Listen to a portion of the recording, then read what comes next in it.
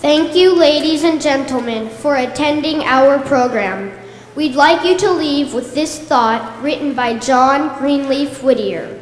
Somehow, not only in Christmas, but all the long year through, the joy that you bring to others is the joy that comes back to you. And the more you spend in blessing the poor and lonely and sad, the more your heart's possessing returns to make you glad.